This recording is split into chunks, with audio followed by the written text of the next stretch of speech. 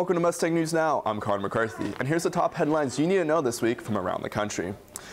Big problems for Samsung. The company issued an alert to all of its customers telling them to immediately turn off the Galaxy Note 7. After its release in August, the phone has had reports of spontaneously catching fire. So far, about 2.5 million phones have been recalled by the company. Round two for the presidential candidates, Donald Trump and Hillary Clinton faced off in their second presidential debate Sunday night. Topics discussed included the Syrian refugee crisis and ISIS, but topics were overshadowed by Donald Trump's crude comments he made back in 2005 in regards to women. The death toll continues to rise in the southeast after Hurricane Matthew made landfall in four states. At least 27 people have been killed and thousands are still in shelters. In North Carolina, at least 1,500 people are still trapped in their homes due to intense floodwaters. Obama has declared a major disaster in Florida, North and South Carolina, and Georgia. Well, that's all we have for you this week. Have a great day.